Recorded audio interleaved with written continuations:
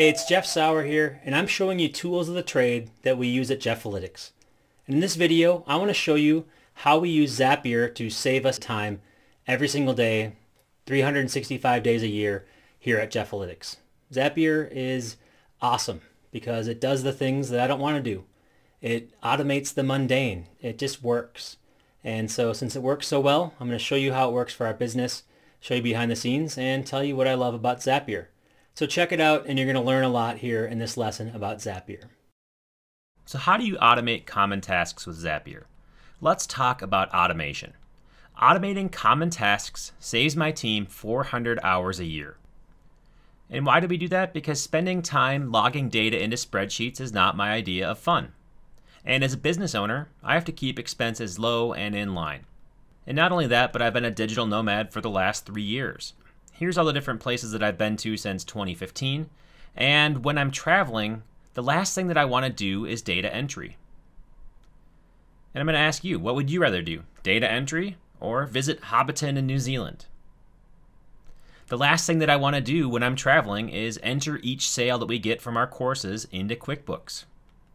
And not only that, but I don't believe in hiring virtual assistants or VAs to do common tasks especially if it's something that can be automated. Why? Why don't I believe in it? Because I don't think we should have manual processes in this era of interoperability. It just seems ridiculous to me. I've been involved in the past with human intensive businesses, and my current business is also human intensive. But we are using humans to do advanced work, high quality knowledge work. And to do that, we only work with highly skilled people. And we let the computers do the rest. And the key tool that I use for all this right now is called Zapier. Zapier is an essential tool for just about any business out there. What Zapier does is it connects thousands of apps together and then it integrates even when there's not a native integration. And this is why it's important because a lot of apps will integrate with other apps once or twice or in a few different instances, but they don't really do it consistently and it doesn't always work with your technology stack. And so Zapier is the one that connects when something else doesn't have a native integration. And you can connect your apps using recipes, or they call them zaps. And a zap is where you connect this thing to another thing. Or you can create your own zap with any type of steps. And here's how I describe Zapier in layperson's terms. If this happens, then do that. But not only that, if this happens and it meets these criteria, do that. So there's a filtering capability around the criteria and finally, if this happens, do this, that, and the other thing. So you have the ability to have one action trigger multiple actions on different systems. And that's pretty cool, right? Here's some examples of how we use Zapier at Jeffalytics. One, tracking customer purchases. So when somebody buys on our courses, we automatically keep the customer record in a spreadsheet and we can use that to verify purchases and just to keep our lists in order. Same thing happens with QuickBooks. When somebody buys, we push the receipts into QuickBooks and it makes bookkeeping a breeze. We also kick off downstream processes. When somebody buys, we put them into the onboarding sequence to let them know about the materials in the course. And this is something that works for ActiveCampaign. But the cool thing is that when we use Drip and we integrate Drip with WooCommerce, we have the ability to kick this off without having to use Zapier. And that's nice because it doesn't go against our rate limits and it works even better than using an intermediary like Zapier. Number two, lead generation. We can take Facebook lead ads and we can integrate them automatically into our email marketing systems. And the cool thing about this is that Facebook actually recommends Zapier as the main system for taking leads out of their lead ad system and putting them into your email marketing platform. Of course, Drip has a native integration here, and so that's why we love Drip so much. We don't even need this for our lead ads when we're using Drip. Survey responses can turn into leads really easily. You can share leads across accounts. So if we get a lead from Jeffalytics and they're interested in analytics stuff, then we'll put them in our analytics course list as well. We can keep track of leads and sales really easily. So anything coming from WooCommerce or ActiveCampaign can go into Pipedrive, which is our CRM system. Number three, customer support. We can take Facebook group posts or Facebook posts of any nature and we can put them into our help desk, Help Scout, and it works great it is a really fantastic integration to take the Facebook groups, which I'm not in all the time, and put them into our help desk so we don't miss anything. Number four, list management. You can add webinar registrants to your email list. pretty easily to make sure that they have the right tags and the right criteria to make sure that you can do your automations into the future. You can take actions within the same platform. So if they do one action in MailChimp, you can unsubscribe them from another one. Of course, systems like Drip, they automatically do this for you. You have automations within Drip, so you don't really need to worry about doing Zapier as an intermediary. Whenever possible, always use the native integration.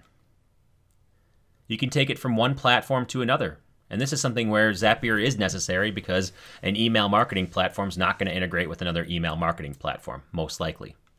And finally, social media automation. So we don't actually use these social media auto posting capabilities because we have several tools that we use for auto posting and we also like Buffer as well. But if you wanted to, you could make it so that every single new WordPress post goes to your Facebook page, goes to Twitter, wherever you want it to go. So there's a lot that Zapier can do. But there are also some things that I don't like. For example, many of the integrations are of minimal utility. Let's talk about Google Analytics and Zapier.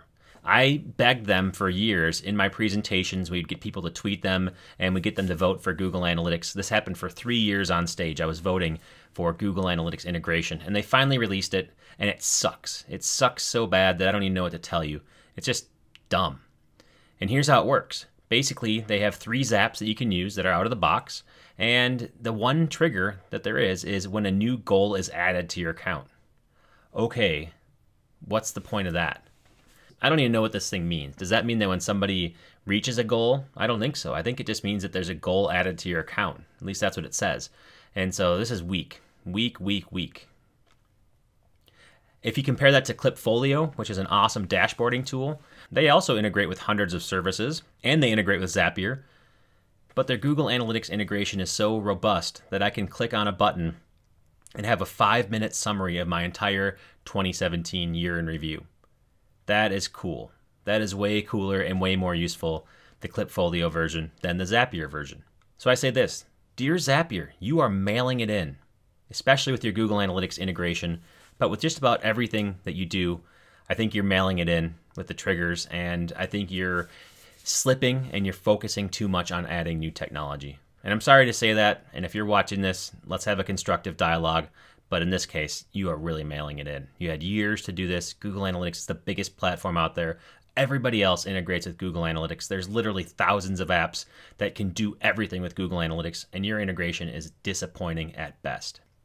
Number two, your pricing scheme is ridiculous, stupid, and punitive. Now, I absolutely hate punitive pricing schemes. And what I mean by that is when they charge you for the success of your business. And as you can see here, they charge you not only for the number of zaps, which I'm cool with, and the premium apps, fine, 50 at a time, 20 at a time. I think it's still a little bit low. I think it's a little bit ridiculous on that sense. But the tasks where you go from 3,000 to 15,000 per month is ridiculous. Now, I had to upgrade my plan to the 15,000 per month when I ran a promotion on AppSumo, and I couldn't just like increase it for a month. They basically turned off Zapier because I was on the 3000 per month plan and I got 5000 customers in the course of 2 weeks. So you penalized me for the success of my business. And I get it. Okay, it takes a little bit more resources, but not that much more. And frankly, you guys have actually gotten about a $1,000 more from me because of this one little thing where I had success for one month, or I did it three or four times. And you've locked me in. I can't go back. You start charging my credit card immediately. I really just don't like your pricing. I think your pricing is stupid. You jump from 3,000 tasks per month to 15,000, and then the next one, you go from 15 to 20. It's like you're penalizing people for being successful and for automating their business. It's like, yes, you should automate your business. Yes, you should use Zapier. Only you shouldn't do it too much. You shouldn't do it too much. And if you want to do it more, then you're going to have to pay more. So automate your business and get all these things off your books, do everything. But if your business gets to be too successful, we want a piece of that.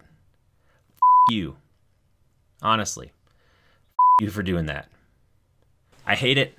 Everybody else hates it. You know what? I praise Zapier. I love it for everything that you do, but your pricing scheme is stupid and it's not entrepreneur friendly at all. Charge me for what I use, not for my own success. Number three, Zapier is getting more complicated over time, and that is not a good thing. So for example, when I test an app and when I put in the triggers, a lot of times the test step doesn't work. I have to go in there and create a new record. Well, that's fine for an email address collection for a drip lead, but what about WooCommerce? You're making me do a transaction in my own system. What about the other transactions that are already in there? Why don't you use those as the test? I don't understand why this testing step has gotten worse, but honestly, about 50% of the zaps that I create now break because you can't test this for me. I don't know what's wrong with it. Fix it. Just get it done. Number four, they're focused too much on new integrations versus making their major platform upgrades better. Quantity over quality. Here's an example. A couple days before I recorded this, I got a email from Zapier about new updates. They have 11 new apps and 4 updates to existing apps, so 15 new app upgrades. Tell me, have you heard of any of these apps? Are you excited because now they have these items out there? Are you excited because they have all these knockoff products that they support? Do you really care about the quantity that they have? Or do you want them to make things better? Because guess what? Your Google Analytics integration sucks. A lot of these other integrations you have sound cool on paper, but they don't really do much. So fix those, make those better, use the major platforms, and stop trying to go quantity over quality. Number five, many platforms charge extra to use Zapier. This is annoying because I use WooCommerce and I integrate, and guess what? It costs money. So it's not just the Zapier fee that I'm paying. I'm actually paying WooCommerce in order to send data into Zapier. And then if I'm successful and I sell a bunch more, I'm paying Zapier even more. I don't understand. Make these things work. Everyone wants a cut, even though they should have integrated in the first place. And yes, I'm getting a little bit ranty here, and yes, I'm probably sounding like an old curmudgeon, but that's just how I feel at the time that I record this. Number six, native integrations are way better. It's always better to have a native integration between two platforms than to use something like Zapier. It's cheaper, faster, and it always works because it's a native integration. And so here's an example of WooCommerce Drip. I don't even need to send my WooCommerce subscriptions into Drip. It happens automatically through this integration. Much better than having to deal with a third party, much more foolproof, and I know it's going to work because it's working between these two items. Okay, so even though I just ranted there and I got a little bit heated, I still love Zapier. And the main reason is because other app developers don't integrate well, or it's not really possible to integrate with every single thing out there. And so that's where Zapier comes in. Zapier is relatively affordable, and it is consistent. It's less expensive and more reliable than manual labor, but I would move away from Zapier if the native integrations were better. That's just how I feel right now. Hopefully, they improve it the reason why I do these videos is twofold. One, to tell you about awesome technology. And number two, it seems like our audience is getting savvy enough and we're getting big enough that these changes are getting implemented. So if they can implement these changes, I'm back on board with Zapier. It's the best at what it does in the marketplace. But I don't really like the direction they're taking the product right now. It's all about quantity over quality. But I'm going to keep on using it for the foreseeable future because there's some vital features that I need for my business. And you should use it too. I think every business needs to use Zapier because it works, it's robust, and there's a lot of cool things going for it, even though I'm a little bit unhappy with some of the directions they're doing.